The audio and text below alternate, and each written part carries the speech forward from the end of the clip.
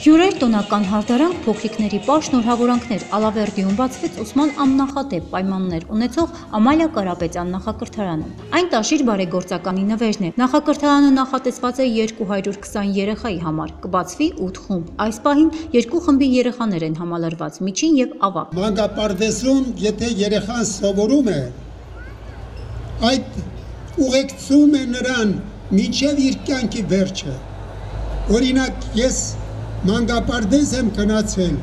բայց ինչպիսի մանկապարտեզ։ Բայց այնտեղ սովորել եմ մի երկ, որ մինչև օրս ուղեկցում է ինձ։ Հանդիսությանը ներկայ էին մարզի բոլոր համայնքների ղեկավարները, բազում ալավերցիներ, ինչպես նաև Գուգարասթեմի առաջնորդը, ով իր օգնությունը բաշխեց թե բարերարին, թե մանուկներին։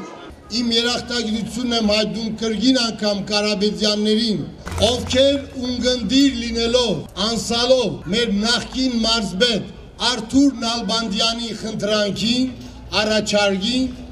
Ալավերդում եւս կառուցեցին այս մանգաբարձը։ Նման մանգաբարձներ հանրապետության տարբեր մարզերում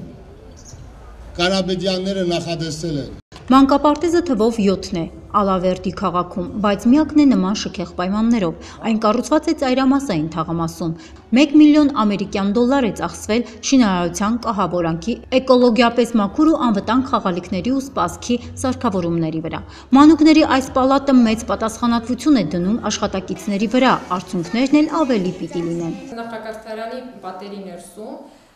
վստահ եմ կտիրի արարչագործ բարություն ջերմ հայրենասիրություն, աննահանջ մարդասիրություն կան բոլոր նախադրյալները։ Օրհնվեց նախակրթարանի հացը, աղը եւ ջուրը թեմակալ առաջնորդի ձեռամբ։